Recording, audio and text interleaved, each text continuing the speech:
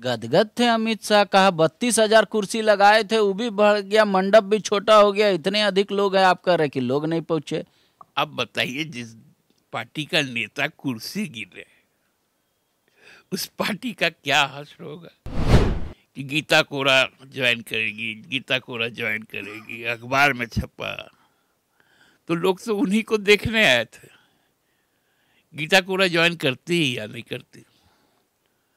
तो वहाँ पर अब गृह मंत्री वहाँ पर कुर्सी गिन रहे हैं। ठीक है सहकारिता मंत्रालय भी उनके पास है। चाईबासा के लोगों को आपने ठग लिया। नियोजन नीति ऐसा बनाया बोले खतियान आधारित क्या मिलेगा चाईबासा को इंसाफ? आवाज़ आ रहा था नहीं मिलेगा। बोल रहे यहाँ उन्नीस सौ बत्तीस का खतियान है ही नहीं। बोल रहे डिवाइड और रूल क्यों कर रहे हैं? तो खतियान पर बात करें ना। क्या बोले हैं खतियान को? नौवीं अनुसूची में कल तो हमने उनसे कहा था सरना धर्म कोड पे कोर्ट पे बात की है क्या?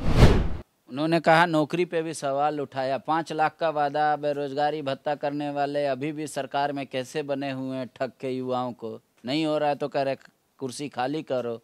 बाबूलाल जी ने वहाँ भरे मन से कहा, अमित शाह को, कि सरकार अकंठ भ्रष्टाचार में डूबी हुई है।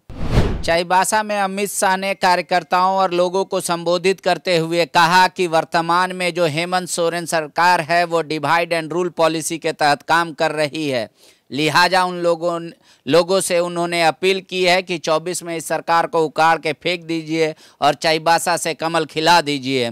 हमारे साथ जेएमएम के वरिष्ठ नेता सुप्रियो भट्टाचार्य जी हैं। दादा, आप तुष्टिकरण की राजनीति के चलते आदिवासी दलित महिलाओं के साथ छेड़छाड़ हो रहा है, फिर भी आप मौन हैं, यही आपकी राजनीति है। अमित शाह का बयान कम से कम अमित शाह जी गृह मंत्री हैं, और दिल्ली में जिस प्रकार से बेटियों के साथ में हश्र होता है, और उसके मंत्री गृह मंत्री हैं, उनको कम से कम इस तरह से बातें नहीं करनी चाहिए, क्योंकि बातें निकलेंगी तो कांझावाला तक ही नहीं जाएँगी।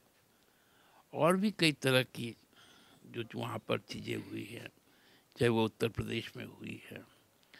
तो गुमराह करना जो उनका अपना एक फितरत है, उससे लोग हमको लगता है कि सीख अभी तक लिए नहीं है। देखिए, एक कहावत है, हिस्ट्री इट रिवील्स इटसेल्फ। जो 2019 में 2 दिसंबर को जो जनसभा उन्होंने की, ठीक ऐसी है शैली में उन्होंने इस बार भी जनसभा की। और उतने ही लोग के लगभग का जुटान हुआ जो साफ़ ये संकेत दे देता है कि अब भ्रम में लोग नहीं आने वाले। गदगद थे अमित शाह कहा बत्तीस हज़ार कुर्सी लगाए थे वो भी बढ़ गया मंडप भी छोटा हो गया इतने अधिक लोग हैं आप कह रहे कि लोग नहीं पहुँचे? अब बताइए जिस पार्टी का नेता कुर्सी गिर रहे उस पार्टी का क्या हश्र होगा? कुर्सी गिर के राजनीति करते हैं क्या? आप बताइए ना, वो भी तो जो कुर्सी में लोग बैठे हुए थे, तीन दिन से भाजपा का जो प्रपंच सेल है, कि गीता कोरा ज्वाइन करेगी, गीता कोरा ज्वाइन करेगी, अखबार में छपा तो लोग तो उन्हीं को देखने आए थे। गीता कोरा ज्वाइन करती ही या नहीं करती? तो वहाँ पर अब गृह मंत्री वहाँ पर कुर्सी गिन रहे हैं। ठीक है, सहकारिता मंत्रालय भी उनके पास है। अपने कार्यकर्ताओं से सहयोग कर रहे हैं। और सुबह दस चालीस की जगह बारह बजे पहुँच के मतलब बाकी समय वो कुर्सी गिनते रह गए। अच्छी बात है।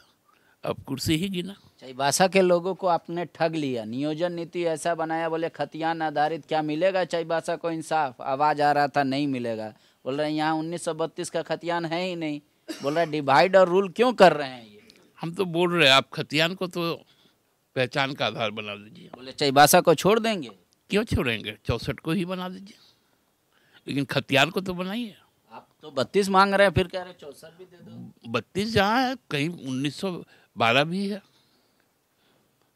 तो उन्नीस सौ चौसठ भी है। खतियान असल शब्द है। तो खतियान पर बात करें ना। क्या बोले हैं खतियान को?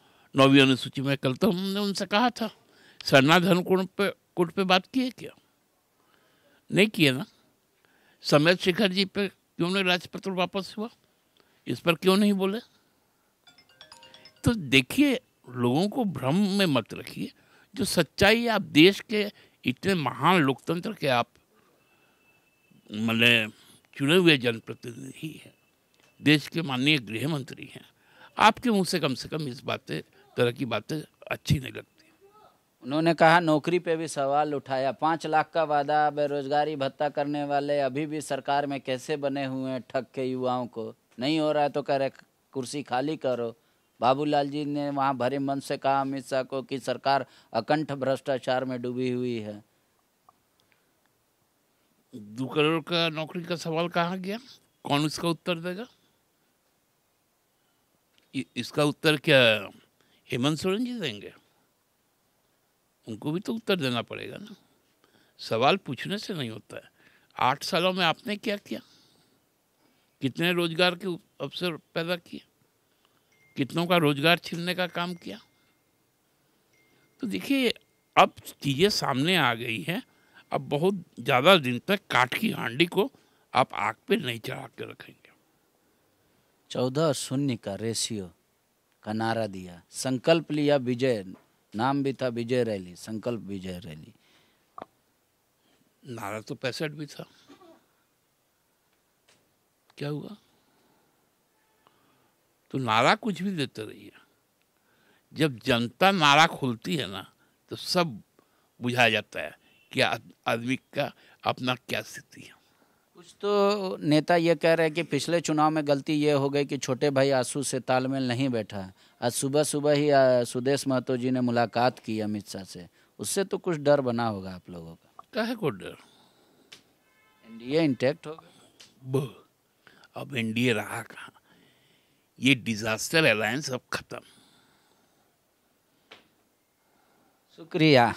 हर सवाल का जवाब है, हर जवाब का सवाल है। कह रहे हैं, अगर यहाँ महिला सुरक्षित नहीं है तो दिल्ली का क्या हाल है? ये भी बताना चाहिए। नेताओं की यही फितरत होती है जब आप उनसे सिक्का मांगेंगे तो पहले वो कह के बताएँगे कि कौन सिक्का बोला था लाने के लिए, और वो सिक्का जब भी जब आ जाएगा तो वो पीतल का होगा, चांदी का होगा, ऐसे ऐसे कई सवाल होंगे। सवाल में आप उलझिएगा नहीं, नेताओं से ज़रूर पूछिएगा कि आपके अधिकार और आपके कर्तव्य से संबंधित कितनी बातें उन्होंने कही और आपकी इच्छाओं की कितनी पूर्ति उन्होंने की। तभी अपने अनुसार से उनका आकलन कीजिएगा और फिर वोट कीजिएगा। शुक्रिया। बायो। सालों से मेडिकल एग्ज़ाम प्रिपरेशन के लिए झारखंड में है सिर्फ़ एक नाम बायो जिसने दिए हैं highest number of selection from Jharkhand in NEET 2022 और अब बायो लेकर आए हैं नीट 2023 में अपियरिंग स्टूडेंट्स के लिए सुनहरा मौका। ज्वाइन करें four month crash course starting from ninth January two thousand twenty three enrol now bio leading institute for pre medical exam Vivekananda Vidya Mandir school एक C CBSE affiliated English medium coed school है। हम शिक्षा के साथ संस्कार देते हैं। The follow up dot in like and subscribe W W